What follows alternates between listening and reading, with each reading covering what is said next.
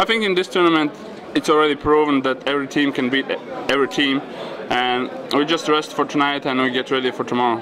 And happy that the team's finally starting to play the way it should.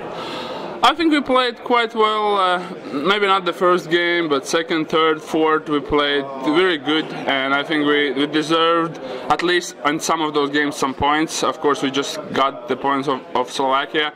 But we played bad against Austria. That was wasn't our game.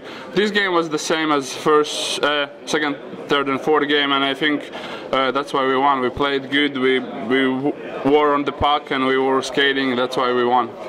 Are you frustrated right now? Well, yeah, of course. We're frustrated first because we lose, and second because I don't think we play a very good game, and uh, we didn't play the way we should have played with uh, desperation, and uh, we should have played like that uh, if we want to win those uh, big games.